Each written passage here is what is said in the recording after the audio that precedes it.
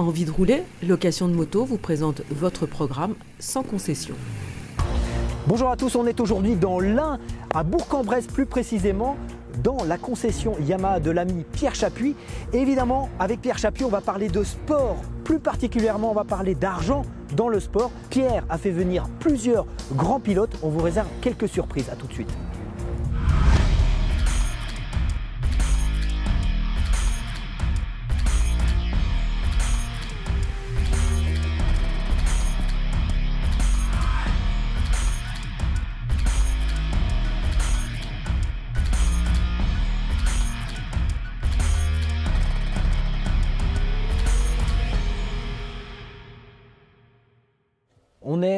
La concession de Pierre Chapuis à Bourg-en-Bresse. Salut Pierre. Salut David, salut Eric.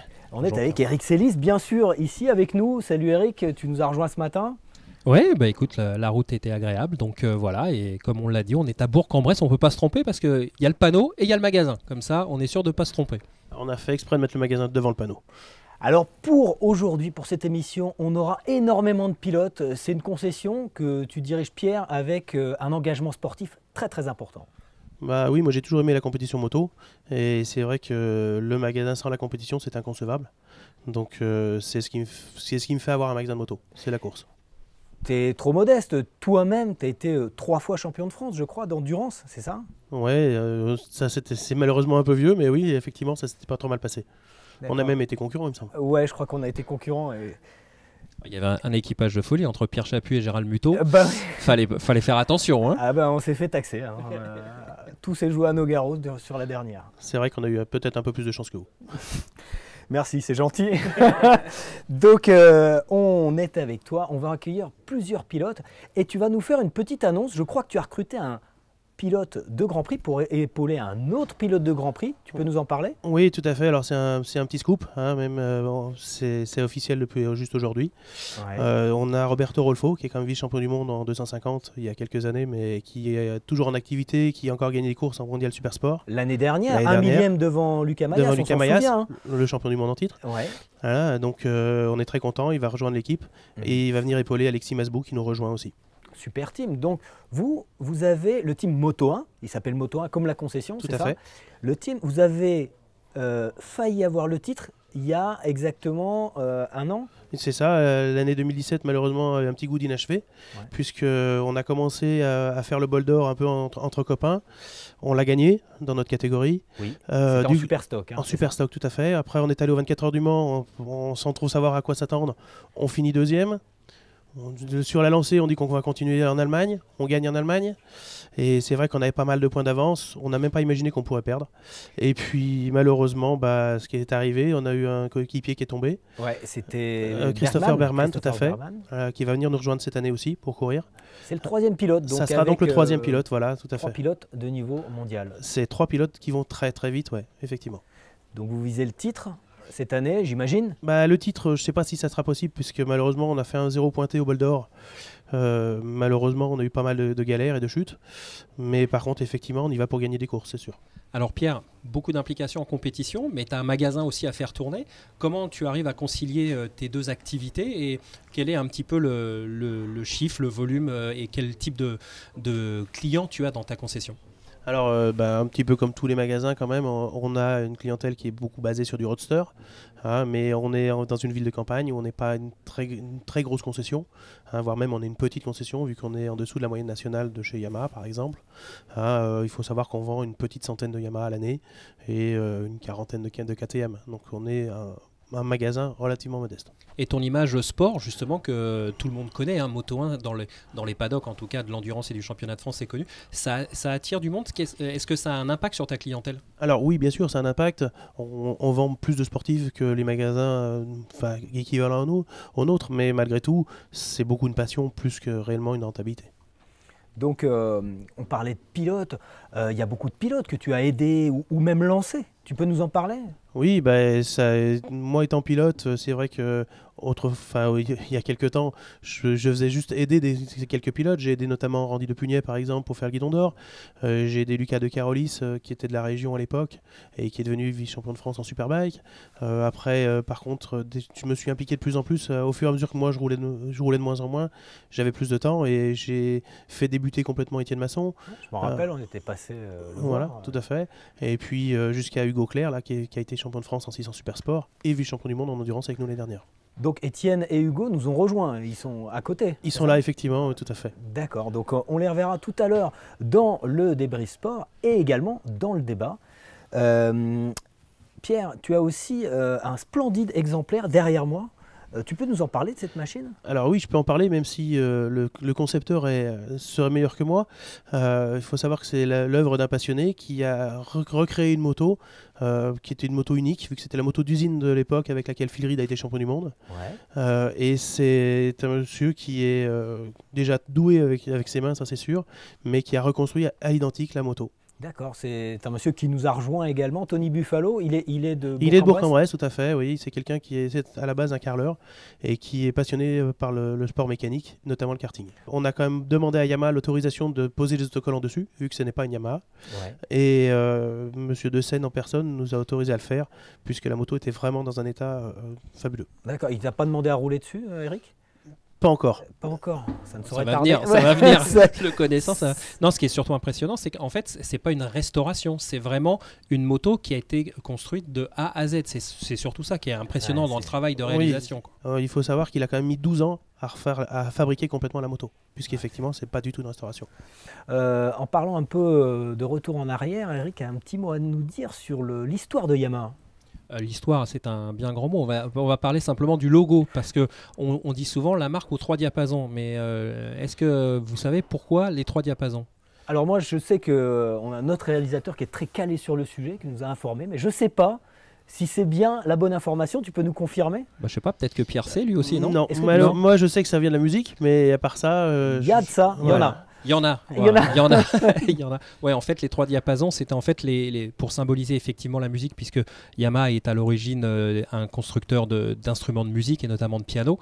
Et en fait, les trois diapasons, c'était pour donner les trois directions de fabrication, c'est-à-dire euh, la, la, fabrication, le marketing et la technologie. Donc ça, c'était les trois axes de développement. Et donc au niveau musique, c'est la mélodie, le rythme et l'harmonie. Donc tout ça, c'est pour ça qu'on a trois diapasons. Ça indique les trois directions dans, la, dans lesquelles euh, Yamaha voulait euh, euh, personnifier ses, réalisations.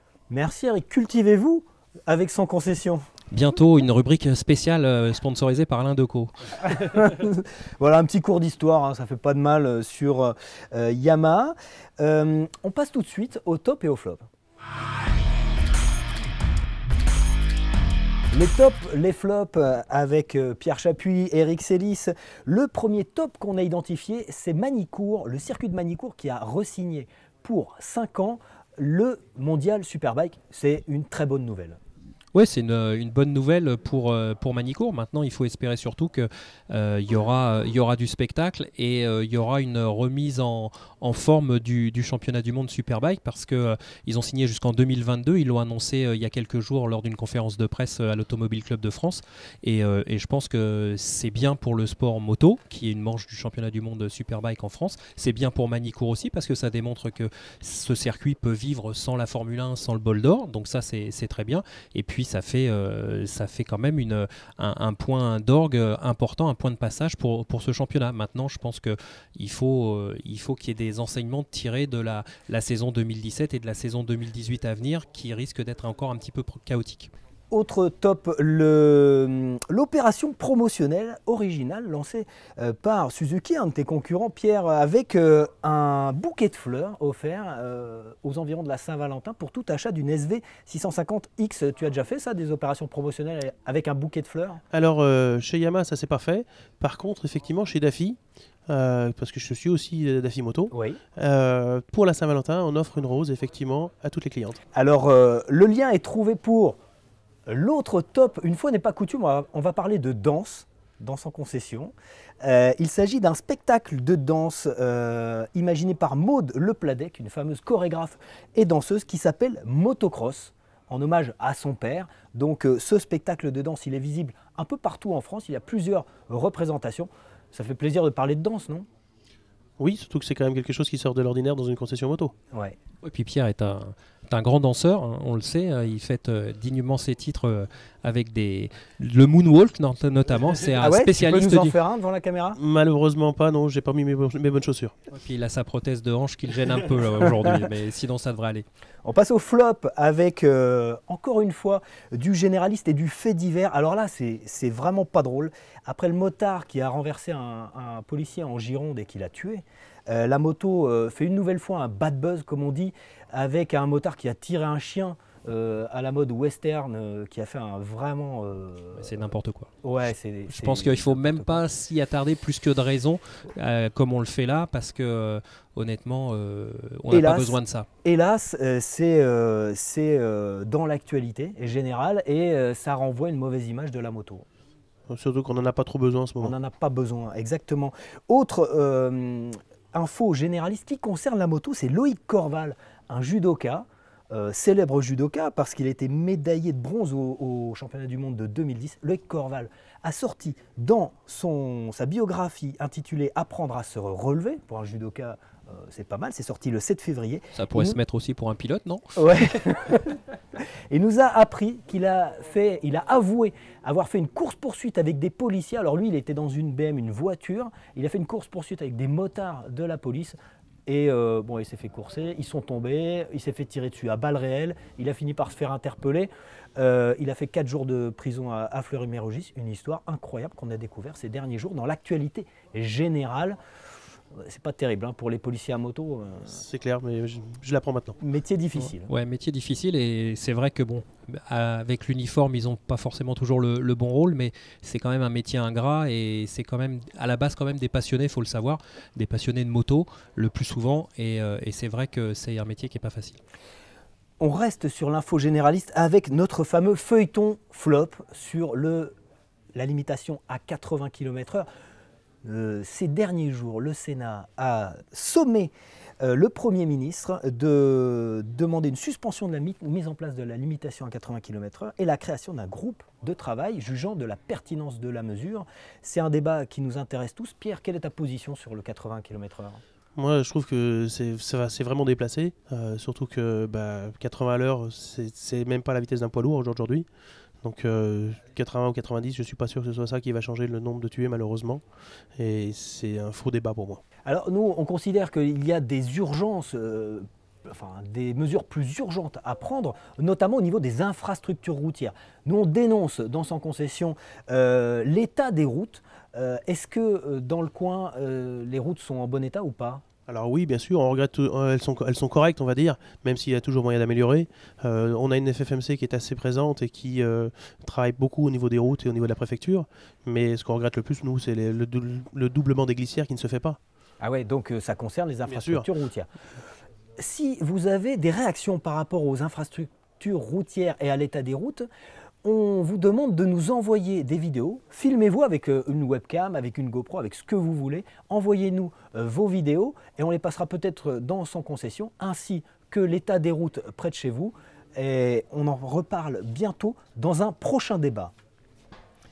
Maintenant, on va passer à la rubrique essai et on a pris le guidon d'une Yamaha Bolt un peu spéciale.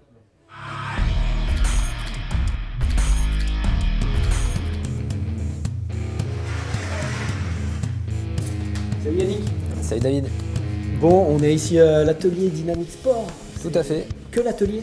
C'est que l'atelier. C'est un- une surface dédiée euh, au SAV, à la préparation, à la réparation. On fait que, que du SAV. Donc ici, on est à tout près de Pigalle. C'est ça, on est dans le 9e arrondissement, euh, à côté du métro Anvers, à 2 minutes, euh, deux minutes de Pigalle. Donc tu m'as amené la Bolt que tu as préparée, c'est ça? Voilà, une machine qu'on avait, qu'on avait réalisée pour un Yard Built, euh, un concours Yamaha de concessionnaire. Yardbit, c'est les préparations Yamaha. euh, Yamaha faite par le, le groupe, quoi. Donc soit par des préparateurs, soit parfois par des concessionnaires quand il y a des concours euh, de ce type-là, quoi. Et donc, tu as des pièces Yamaha dessus? Obligé? Alors, alors tu es obligé de, de mettre un certain nombre de pièces Yamaha. Il y avait, on était censé euh, rien tronçonner, faire une machine qui pouvait être, euh, où tu pouvais revenir en arrière sans, sans rien casser. Les deux pneus, les mêmes à l'avant, du 5 par 16. Donc des pneus, euh, bah, pour lui donner un look vraiment bobber, moi j'ai voulu faire une machine qui ressemble un petit peu à l'ancêtre de la VMAX. Je voulais lui donner vraiment une, une empreinte Yamaha. Donc j'ai récupéré des, des écopes de, de VMAX que j'ai fait adapter pour vraiment donner le, le look Yamaha. Parce que le problème de cette moto, c'est que tout le monde me dit ouais t'as Harley, t'as Harley, t'as Harley quoi. Malgré malgré ça quoi. Ouais, bah, celle XJR, Ah oui. Dernière XJR. Donc sur ressort, parce que c'est une moto qui, qui bouge pas mal. Donc pour euh, donner un peu plus de confort, euh, je l'ai fait mettre sur ressort. Donc celle-ci, elle est hyper rehaussée. Enfin hyper rehaussée, elle est remontée de entre 8 et 10 cm de l'arrière. Donc ça change complètement euh, l'assiette de la moto si tu veux. Parce que de remonter l'arrière, forcément, ça te redresse la fourche. On retrouve pas vraiment le feeling qu'on aurait sur une Bolt d'origine. Après, c'est une position de conduite complètement différente. Donc j'ai redressé aussi les commandes parce qu'elle se conduit assez droite finalement. Elle se conduit un peu plus comme un roadster que, que comme un custom. Alors l'échappement, c'est un fait maison euh, à partir d'un silencieux de XJR, euh, un peu de bande. Un peu de bande anti-chaleur, comme ça on a viré tous les, les caches anti-chaleur qui étaient dessus. On a mis un petit kit sur le moteur pour le rendre un peu plus joli, où on voit l'intérieur du moteur. Alors ouais, on a des, des petites fenêtres là. Ouais, on a des petites fenêtres, bah là il y a un peu de condensation, donc on voit pas tellement. Et puis tu as des ressorts extérieurs aussi sur la fourche. Je voulais, je voulais donner une empreinte vraiment euh, comme les premières motos, et j'aimais bien les premières motos qui avaient des ressorts extérieurs, donc j'ai fait un, un système de ressorts euh, de fourche extérieure. J'ai un ami serrurier avec qui on fait les modifs de cadre, des choses comme ça, et puis on s'est fait un petit délire sur le sur le, le support de plaque euh, l'année dernière. Et donc euh, on a fait ça, on a fait ça vite fait. On a trouvé que c'était un peu un peu rigolo, tu vois ça. Je me suis dit au moins celui-là je le retrouverai pas quelque part. Bon, bah, écoute Yannick, moi je suis curieux d'essayer ça, tu me la prêtes? Et bah ouais, allons-y. Ouais. Me la casse pas. Ah, non, non, Je vais essayer. Et après je la rends au showroom. Chez, Chez Mehdi. Chez Mehdi.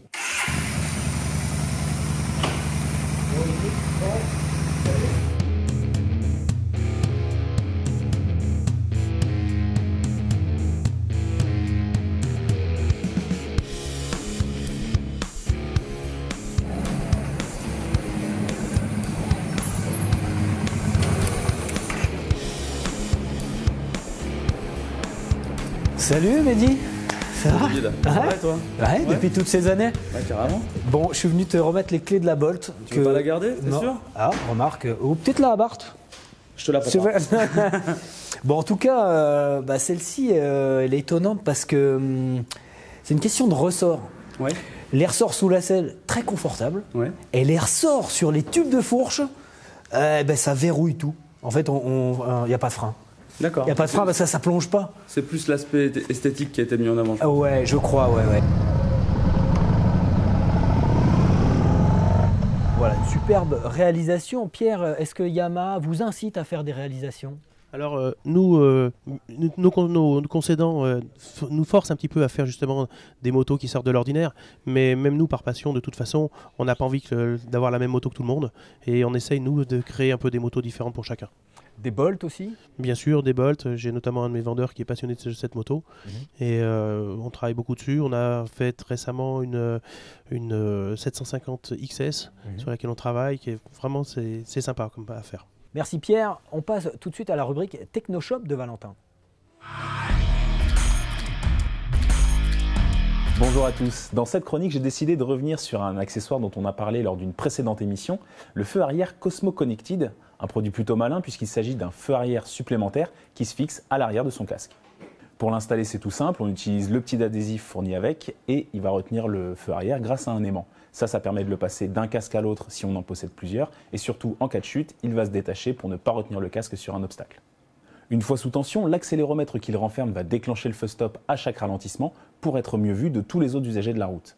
Et grâce à l'application qui va avec, on peut aussi le passer en mode feu de position pour la nuit ou même carrément le faire clignoter en mode feu de détresse. Ça, c'est toujours pratique si on tombe en panne au milieu de nulle part. Mais c'est pas tout, le Cosmo peut aussi détecter un éventuel accident et dans ce cas-là, si vous n'êtes pas en mesure de confirmer que tout va bien, il va prévenir les secours et aussi prévenir vos proches si vous les avez renseignés au préalable. Pour finir, ce Cosmo Connected, il est disponible soit sur Internet, soit chez tous les revendeurs du réseau Technoglobe, au prix de 119 euros en brillant ou 129 euros en mat. Merci Valentin. Le Cosmo Connected, tu en penses quoi d'un troisième feu stop euh, sur le casque? Bah, tout ce qui améliore la sécurité, ça peut être que bon de toute façon. Donc, euh, moi, je pense qu'effectivement, c'est développer ce genre d'initiative, ça peut être que bien. Merci Pierre d'être, de nous avoir accueillis et on va maintenant accueillir tes pilotes pour la suite et notamment pour le débrief sport. Merci beaucoup. Merci à vous. Notre débrief sport avec deux invités euh, liés à cette concession. D'abord Roberto Rolfo. Bonjour Roberto. Bonjour, bonjour à tous. Merci de nous avoir rejoints. Et Hugo Claire, Bonjour tout le monde. un autre pilote de, de Pierre Chapuis. Donc euh, Hugo, toi tu as roulé euh, plusieurs années pour, euh, pour Pierre. Donc oui, ça fait 5 ans. Euh, donc euh, là, on a décidé de, de, de- de- de s'arrêter et de chacun prendre un petit peu sa route parce que voilà, on, a- on avait fait un peu le tour du sujet. Tu as été champion de France avec Pierre quand même. Oui, on a été, j'ai été deux fois champion de France, Ouais. Super Sport Stock et Super Sport euh, Evo. Donc euh, non, de belles choses. euh, C'était vraiment. Et là ton programme c'est quoi? du coup, je me suis engagé avec le junior team LMS, donc sur une Suzuki. Donc aussi une grande première vu que ça faisait 6 ans que j'étais chez Yamaha. Donc voilà, mondial endurance et puis FSBK en 1000 euh, stock. D'accord, donc Ét- Étienne Masson est pilote du CERT.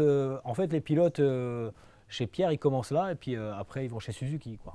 C'est un peu ça, en plus surtout que Étienne c'est un, c'est un ami, ça fait des années qu'on se connaît. Bah, déjà de- depuis que j'ai commencé chez Pierre en fait, euh, j'ai- je, je connais Étienne, donc euh, donc c'est un, c'est un peu mon exemple on va dire, et je suis un petit peu sa roue, donc, euh, donc j'en suis fier. D'accord. Avec nous Roberto également. Roberto, euh, toi tu as gagné 4 grands prix si je ne me trompe pas. Un en moto 2, 3 en 250 Et oui, 350, euh, oui, t- c'est correct. et 20 podiums en Grand Prix. Pardon, oui. C'est impressionnant. Qu'est-ce qui t'a donné l'envie euh, justement de revenir à... Parce qu'on sait que tu as fait toutes les catégories Oui, et aujourd'hui tu fais de l'endurance. Pourquoi? Parce que j'ai beaucoup envie d'aller en moto toujours. Donc, euh, c'est la possibilité aussi de faire euh, de, kilomètres euh, sur la moto comme j'ai- j'aimerais le faire. Parce que euh, la Supersport dans les dernières années a été un peu compliquée pendant les essais parce que la Superpole était seulement 15 minutes. Et 15 minutes des essais libres le samedi.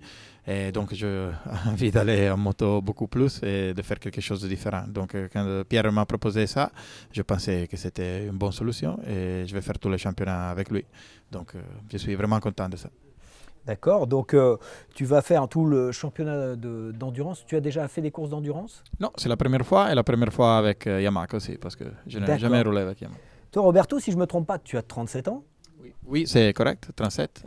Valentino Rossi en a 39 et il vient d'annoncer qu'il prendrait sa décision de continuer ou pas euh, cette saison de MotoGP après les trois premiers Grands Prix. Donc après Austin, il décidera, euh, Valentino, de, continuer. T'en penses quoi Eric? Bah, on va dire que Valentino Rossi tient en otage euh, le plateau du MotoGP. Je pense que Michel euh, saura nous l'expliquer euh, effectivement bien, bien mieux euh, prochainement. Mais euh, d'un côté, on est forcément subjugué parce qu'il est là depuis euh, plus d'une vingtaine d'années. Euh, il est toujours aussi performant, même si euh, la concrétisation du titre est pas toujours est pas, est pas en- est plus là.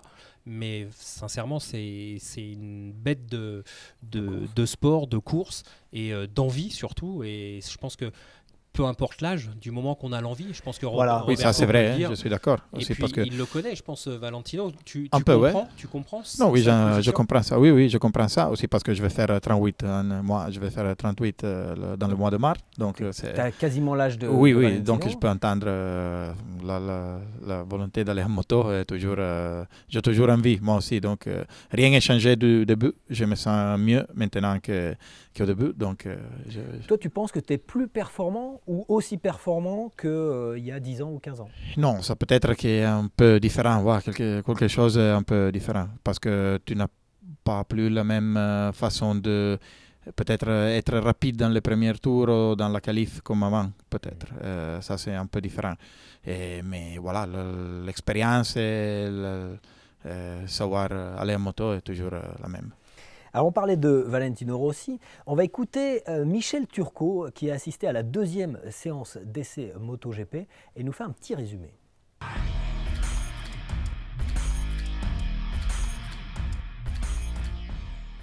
Alors si à Sepang, euh, on avait plutôt retenu le meilleur temps de Lorenzo, à Buriram, on retiendra la, bonne performance générale des Honda. Euh, Pedrosa a fait le meilleur temps, Marquez a été le, plus performant en, termes de, de, de course. Euh, donc les pilotes Honda ont validé le, choix de leur moteur, c'est la dernière version qu'ils ont eue. Euh, il est encore un petit peu agressif, mais enfin bon, ils ont fait d'énormes progrès en électronique. Aujourd'hui, Marquez est clairement euh, toujours favori du championnat vu qu'il a gagné quand même 4 titres en 5 ans.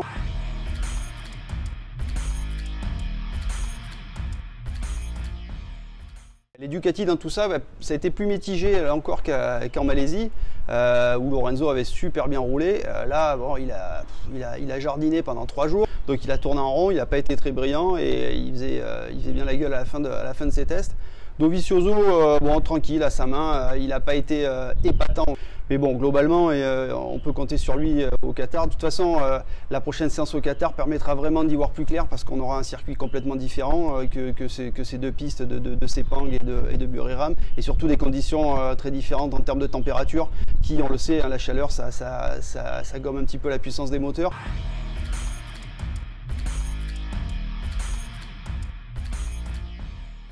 On sent qu'aujourd'hui, euh, bah, Johan Zarco, c'est le, pilote euh, qui utilise le mieux la Yamaha. Alors pourquoi? Ben, Tout simplement parce qu'il essaie de, copier ce que faisait Lorenzo avec, ce- avec cette moto qui a été développée euh, donc, par Lorenzo. Tout simplement, Lorenzo il a, remporté les, trois derniers titres de, Yamaha en MotoGP. Son pilotage très fin qui lui permet aussi d'utiliser des pneus tendres et ce qui sont un avantage avec les Michelin font qu'aujourd'hui bah, Zarco c'est le, pilote le plus rapide sur les Yamaha. Alors pas c'est pas forcément lui qui va terminer premier pilote Yamaha cette année, en tout cas bon ça la- ça la fout un peu mal chez Yamaha et donc euh, voilà ça va être intéressant de voir ce qui va se passer sur les premières courses. Merci Michel pour ces précieuses informations en direct du MotoGP. Euh, la saison, euh, j'imagine que tu es très attentif, Roberto, à la saison de, de MotoGP? Oui, oui, en général, oui, parce que je fais aussi des, des années euh, là-bas, sur la 250, MotoGP, donc je vais suivre toujours. Alors le MotoGP va accueillir, ses- ça vient d'être annoncé officiellement, ça s'est passé à Rome. Le MotoGP a annoncé la création en 2019 de la, du championnat de la Coupe du Monde exactement FIM NL Moto I. Ce sont des motos électriques. Energica a été choisi comme constructeur unique pour le lancement du championnat. Euh, Est-ce que le championnat électrique, ça vous tenterait, Hugo? Euh, moi, honnêtement, pour le Honnêtement, moment, honnêtement, pour le moment, je suis, un, concession. je suis un peu sceptique. Euh, J'attends de voir quand même les premières courses. Euh, surtout qu'apparemment sur les durées des, des courses c'est pas très long. Euh, donc euh, ouais, je suis un petit peu, je sais pas trop encore. D'accord, donc les motos électriques, elles n'auront pas de moteur thermique, mais elles auront toujours une chaîne. Et euh, le, notre chroniqueur Didier Daléo euh, va nous expliquer comment on peut graisser sa chaîne euh, sans béquille centrale. On vous remercie, Roberto, Merci Hugo, Merci beaucoup. beaucoup. Tout de suite, la rubrique Web Atelier. Bonjour sans concession. Aujourd'hui, je vais vous faire voir comment on va pouvoir lever la roue arrière de votre moto en étant tout seul en toute sécurité. Les motos ne sont pas équipées d'une béquille centrale. Donc du coup, pour lever la roue arrière pour pouvoir faire votre tension chaîne, c'est pas évident. Alors on va utiliser en fait trois points la roue avant, la béquille latérale et la roue arrière. À partir de ces trois points, vous aurez un équilibre parfait.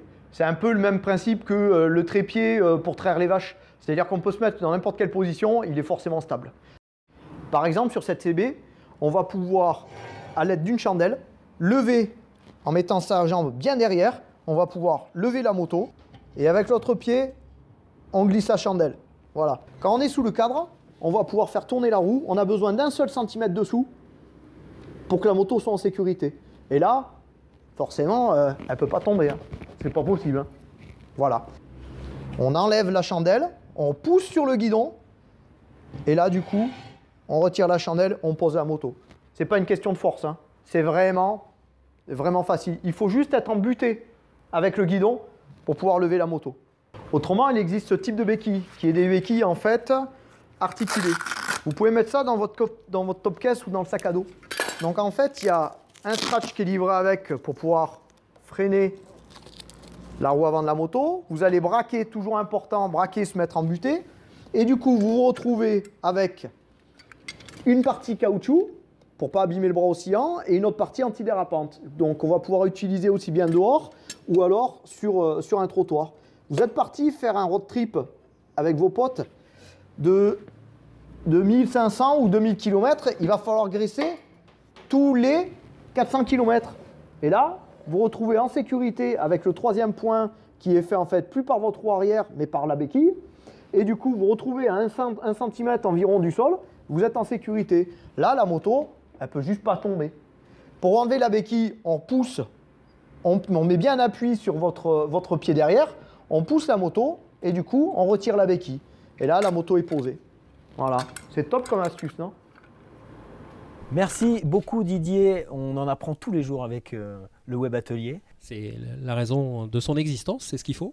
Avant de passer au débat qui concerne l'argent et la moto, on passe tout de suite à un jeu de simulation de management avec Adrien. Alors comme ça, on va faire du management à haut niveau. Hein. On pense qu'on peut trouver la star des pilotes de demain. Tu te sens l'âme de gérer une écurie. Petit, t'as frappé à la bonne porte. J'ai un truc pour toi. Ça s'appelle Rider Manager. Vous l'avez déjà deviné car tout est dans le titre. Dans Rider Manager, on ne va pas tester une nouvelle simulation de MotoGP, mais une simulation de gestion d'écurie de MotoGP. Après avoir nommé votre team, voici aux commandes de votre écurie. Et là, c'est le drame. Nous avons affaire à un banal petit jeu de dés qui propose très peu d'options, à commencer par très peu de customisation sur votre moto. Et si vous voulez changer le nom du pilote, il faudra payer. Eh, c'est rentable ça J'aime bien leur philosophie. N'espérez même pas observer la progression de votre pilote sur circuit. Voilà à quoi ressemble le résultat.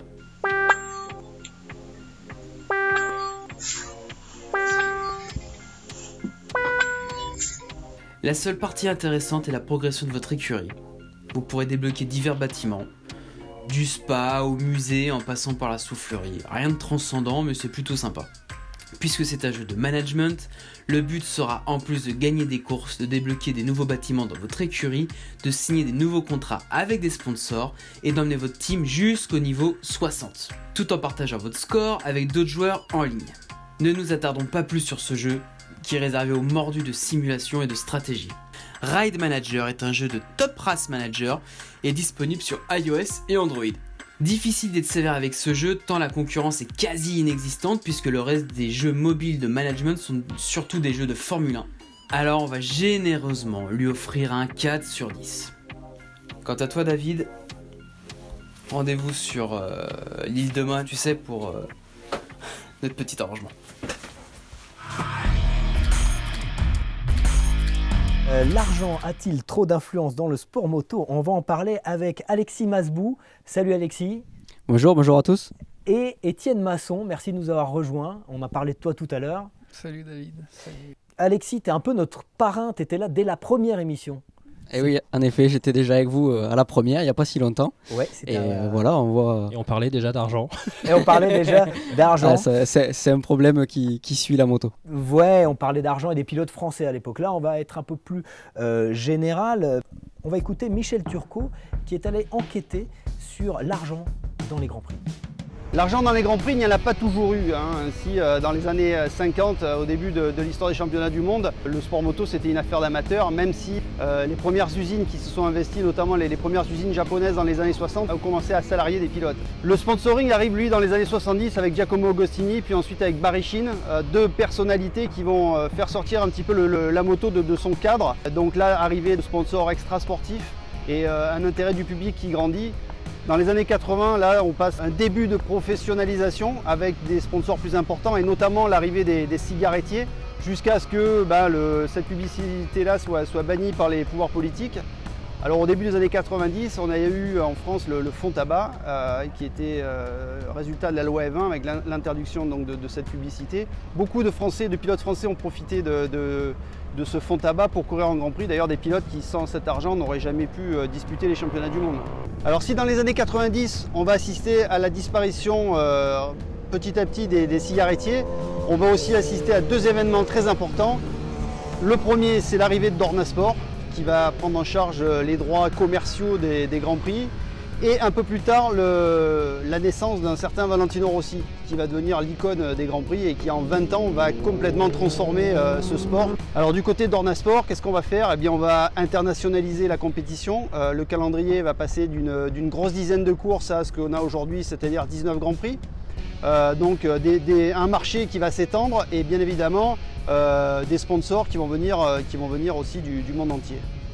Et dans les années 2000, on a la création du championnat MotoGP, donc euh, des moteurs 4 temps qui remplacent les moteurs de temps, et là des constructeurs euh, qui sont de plus en plus intéressés par une compétition euh, qui va leur permettre de développer de promouvoir leurs produits avec une certaine corrélation avec, la route. Côté télé, la Dorna se met à revendre ses droits beaucoup plus chers à des, chaînes payantes, comme ça se fait d'ailleurs dans la, majorité aujourd'hui des sports. Euh, donc plus d'argent qui rentre, cela permet de redistribuer ben, cet argent, euh, enfin une partie de cet argent à- aux équipes qui, qui deviennent franchisées. Hein, on a un système qui fonctionne à lui tout seul, qui aujourd'hui euh, permet d'avoir euh, un championnat euh, pérenne euh, et des équipes aussi qui le sont. Revers de la médaille, plus d'argent qui rentre dans les caisses, les équipes en profitent. Mais à côté de ça, puisqu'il faut payer pour voir le sport, euh, bah, de moins en moins de personnes le, voient, euh, ce qui ne rend pas très euh, heureux ni les constructeurs, puisqu'ils ont moins d'audience, et également les sponsors qui sont moins vus. On a vu avec Roberto Rolfo, qu'on a accueilli tout à l'heure, qu'il a eu des difficultés. Il avait signé en Superbike avec le team Grillini, et puis Grillini a des problèmes d'argent. Le manager de l'équipe a été mis en cause pour blanchiment d'argent. On a eu des cas avec euh, Juan Fran Guevara, qui a arrêté prématurément sa carrière pour des raisons financières. Oui, il a dit qu'il il en avait assez de payer. Alors, il était vice-champion d'Europe. Il avait euh, réussi une, une entrée en matière en Moto 3 plutôt euh, satisfaisante. Mais euh, voilà quoi. Il a, il a décidé de dire stop. Alors, avant d'entrer dans le vif du sujet, on va parler quand même de, de votre actualité. Alexis, tu vas rouler avec Pierre en endurance, de nouveau, je dirais. Oui, fait une petite euh, parenthèse. De nouveau, exactement, un petit passage chez, chez Kawasaki pour le bol d'or. Et puis maintenant, de retour euh, avec Pierre, euh, on a, fait, on a fait une tellement belle saison l'année passée, on s'est tellement régalé tous ensemble que, que j'ai eu l'envie de revenir avec eux et maintenant il me tarde de recommencer. D'accord. Étienne, toi, tu continues avec le cercle. Vous allez être concurrent, hein, bien sûr, pas dans la même catégorie. Et toi, Étienne, tu es pilote officiel du CERF depuis plusieurs années avec plusieurs titres à la clé. Euh, ouais, ça va être la quatrième année euh, cette année que je passe euh, au CERT. On a déjà eu deux titres. Euh, L'année dernière était un peu plus un peu plus compliquée pour nous. On a eu euh, diverses euh, diverses difficultés. Donc euh, là, la nouvelle moto, une nouvelle équipe. Donc euh, Les équipes aujourd'hui demandent de l'argent. Selon les catégories, ça varie. En MotoGP, tous les pilotes sont à peu, à peu près payés maintenant. Tu confirmes ça, Alexis? Oui, en effet, maintenant les, euh, c'est revenu un peu plus à la normale parce que c'est vrai que pendant quelques années, il y avait plusieurs pilotes en MotoGP qui, qui payaient. Pour moi, c'est inadmissible parce que forcément, en MotoGP, euh, ça doit être l'élite de notre sport et donc forcément, c'est des pilotes qui doivent être payés et qui doivent vivre de leur, de leur, de leur métier. Maintenant, euh, c'est sûr que dans, dans toutes les catégories, euh, hormis le MotoGP, ben, il faut amener des budgets. Il faut amener des budgets. Le minimum, c'est quoi? Pour rouler en Grand Prix, le minimum. Une Ah, saison. Après, c'est difficile de quantifier parce que ça dépend évidemment du, du niveau du pilote, des sponsors qu'il y a derrière, de sa nationalité. Euh, Il y a beaucoup de choses qui font que, que on va dire, le budget demandé est, est- est variable, mais on va facilement entre 100 000 euros, qui, qui est le Ouais, plus petit budget va qui va, qui être 3, demandé, Moto 3. qui va être du Moto 3. Après, entre le Moto 3 et le Moto 2, maintenant les budgets sont quand même très très similaires parce que les Moto 2 sont des budgets réduits sur pas mal de postes, alors que la Moto 3 est une moto beaucoup plus développée. Donc au final, Moto 3 et Moto 2, ça reste assez similaire sur les budgets. Par contre, après, on monte sur des budgets à 500, 600, 700 000 euros qu'on demande à des pilotes. Euh, donc c'est sûr que On si gagne pas ça en on ramène ça des à, la vie de tous les jours, c'est quand même des budgets extrêmement importants et qui, et qui sont Mais difficiles à tu, trouver. dis, euh, quand tu dis que le- les pilotes de MotoGP sont tous payés, euh, il y en a qui payent. Hein. Xavier Siméon, par exemple. Ouais, enfin, on va pas faire, euh, on va pas Mais focaliser sur Xavier, mais ce qu'il faut, en fait, ce qu'il faut bien comprendre, c'est que il y a des pilotes qui amènent des budgets, et sur les budgets qu'ils amènent, ils se dégagent un salaire. Donc, c'est ce qui fait qu'aujourd'hui, je pense que c'est ce que tu voulais dire aussi, Alexis, que tous les pilotes du MotoGP sont payés. C'est-à-dire que euh, que ça soit Xavier Siméon ou Tito Rabat, par exemple, parce que Tito Rabat, on l'oublie, mais Tito Rabat, s'il est aussi en MotoGP, c'est parce que euh, papa et maman sont diamantaires. Donc, euh, c'est une famille très très riche en Espagne. Et euh, c'est de l'argent qu'ils amènent, mais ils se dégagent un salaire. Ça marche comme ça aussi en voiture. hein. Mais après, je veux dire, la, la plupart des pilotes euh, de Grand Prix, Mhm. euh, à la fin de l'année, ont quand même un budget qui leur, qui leur reste pour vivre. Parce que sinon, je veux dire, il y a Oui. des frais importants de déplacement. euh, il, faut, il, faut, compris dans il- le- il faut dans vivre, il faut s'entraîner. Donc, il y a quand même euh, un, un budget en plus de ce qu'on amène aux équipes qu'il faut se dégager pour, pour arriver à vivre ou à survivre selon les, les possibilités et à s'entraîner derrière aussi. Alors les mieux payés, Eric, euh, c'est, j'imagine, c'est Rossi, Marquez. euh, Oui, qui c'est le- ça, le c'est plus le- payé, là A priori, hein, parce que c'est toujours compliqué, et on parle uniquement de salaire, hein, on parle pas de revenus publicitaires, parce que là, je pense qu'il n'y a pas photo, euh, on sait qui est, le, euh. qui est le mieux payé, mais au niveau salaire, a priori, Marc Marquez est passé devant Valentino Rossi, il serait à plus de 11 millions de dollars par saison, Mhm. Valentino serait à 10, ça va. Et Lorenzo, je crois. Qui et est- qui est- Lorenzo est aux alentours de euh, 10-12, je crois, Voilà, quelque chose là, comme ça, euh, par, rapport à, par rapport à Ducati. Mais enfin, Ducati, c'est un peu euh, spécial parce qu'il y a quand même toujours le groupe euh, cigarettier qui est, qui est derrière. Et puis, on a euh, a priori Johan Zarco qui commence à progresser dans la hiérarchie. La grille des salaires le ferait apparaître aux alentours des 3 millions de, de dollars De ou dollars. d'euros euh, sur, euh, sur une saison. Mais par contre, il y a des pilotes en, en bas de tableau euh, qui sont à 150 000 ou 200 000 euros. quoi. C'est pas le- énorme. hein. Le, la proportion un petit peu en, en moto GP, on, on en a parlé, en moto 2, moto 3, la proportion des pilotes payés et les pilotes payants, c'est quoi à peu près? Ah, On va dire que, que sur ces deux catégories-là, c'est les, les 5 ou 7 premiers pilotes qui, qui sont payés Mhm. euh, de- des deux catégories. Et après, tous les, en gros, les, les 25 autres euh, Mhm. qui amènent des budgets. Euh, Des pilotes payés, les pilotes payants, Étienne en endurance, la proportion de pilotes payés, elle est faible aussi. Ouais, bien sûr, elle est faible parce que, euh, enfin, moi, pour ma part, je m'entraîne tous les jours, ça me prend énormément de temps et euh, c'est vraiment mon, mon métier, donc euh, je peux rien faire à côté et, euh, et voilà, c'est c'est un métier comme un, comme un autre et, euh, et je pense que c'est important. ouais. Et ce que dit Étienne est, est important parce qu'aujourd'hui, l'endurance, elle est en train de monter en puissance. Mhm. Mais d'un autre côté, on est en train de voir que des pilotes, des anciens pilotes viennent, etc. Donc il ne faut pas non plus euh, brûler ce qu'on a adoré, j'ai envie de dire. Parce que euh, Roberto Rolfo, il va venir. On parle de Poggiali qui va venir en endurance. Euh, voilà, ça fait des noms. Mais il ne faut pas non a plus. Randy il est là depuis, euh, depuis un an et demi maintenant, mais il ne faut pas dévaloriser l- les gens qui, euh, qui étaient dans la, dans la discipline auparavant. Et comme le dit Étienne, toute peine mérite salaire. Et je pense que aujourd'hui, euh, du fait de la, euh, la notoriété grandissante de l'endurance, certains s'en servent aussi pour dire bon bah nous on te donne tant, que ce soit pour des équipes officielles, on te donne tant, mais de toute façon si t'en veux pas c'est pas grave, il y a du monde derrière. Et ça, je trouve qu'on on commence un petit peu à retomber dans le dans la perversité du système et c'est pas logique. Comme c'est pas logique qu'un pilote professionnel, parce qu'ils sont professionnels, ne soit pas payé pour porter un casque, ne soit pas payé pour porter un cuir, ne soit pas payé pour Mais ça, porter c'est des la bottes. loi du marché, hein, oui, mais quelque part. On, on peut pas. Là, je suis d'accord, mais je veux dire, c'est pas logique qu'un pilote accepte de dire, bah, euh, ok, bon, bah, d'accord, bah, je porte les bottes, mais je suis pas payé. Et parce que derrière, les gens s'en servent, parce que tu vas voir un équipementier, Ça, tu lui dis, les- bah, moi, les- je veux. C'est les grands principes, mais euh, effectivement, s'il y a du monde euh, au portillon, Ouais, mais euh, c'est comme si je te disais, bah, pour ton métier de journaliste, bah tiens, tu vas me faire ce sujet-là, mais comme c'est un sujet sympa, Je tu fais, seras pas moi, payé. Tu le je le fais fais gratos, moi. Ouais, bah toi t'as pas de cœur, toi t'as pas de soi, t'as pas de loi. Mais, mais voilà, non mais aujourd'hui, on, aujourd'hui, on, on est, on est en endurance parce que Mhm. c'est ce qui les concerne aussi. On est, à on commence à être à la limite du Alors système. en endurance, euh, justement, il y a des pilotes ni payants ni payés. C'est un peu euh, la particularité de l'endurance aussi. euh, Il y en a beaucoup. Euh, ouais, bien sûr. Il y a, après, tout dépend de, de l'équipe aussi. Il y a des, hum, il y a des pilotes qui, qui rêvent de faire, par exemple, le Bol d'Or ou les 24 heures du Mans. Et Voilà. je sais que- qu'ils amènent un peu de budget pour, euh, pour arriver à participer, pour arriver à intégrer une équipe. Euh, Il y en a qui roulent ouais, gratuitement pour, pour, avoir des, pour être déjà dans une équipe à peu près, à peu près correcte. Et, euh, et bien sûr, après, oui, il y a les, les pilotes qui, sont, qui sont rémunérés. Alors, une des euh, raisons aussi euh, de, la, de, la valeur d'un sport, c'est la, la médiatisation. Or, aujourd'hui, euh, la médiatisation, ça coûte parfois cher aux chaînes de télé, puisqu'on a eu un, un débat avec un journaliste qui nous a expliqué qu'un tournage dans le cadre de l'enceinte des Grands Prix, ça coûtait une journée 15 000 euros. Alors ça, euh, déjà que le MotoGP n'est pas sur les chaînes euh, gratuites, hein, la renégociation est en train de se faire. Euh, Eurosport euh, Oui. va vouloir re- reprendre le MotoGP. enfin, si ça se fait, euh, si d'aventure Eurosport perdait le MotoGP, c'est Canal Plus qui s'est positionné. Ouais, Et Canal Plus, c'est pas aussi. plus gratuit. Donc, les- les- qu'est-ce que vous en pensez vous? Est-ce que, est-ce que on a écouté Roberto qui disait que c'était pas gratuit non plus en Italie? Est-ce que le sport moto finalement n'est pas pénalisé par cette politique de, de Dorna qui consiste à faire payer les médias? De toute façon, euh, quand on est sur des chaînes payantes, on est toujours moins médiatisé que si on était sur des chaînes nationales. Ça, c'est un premier point.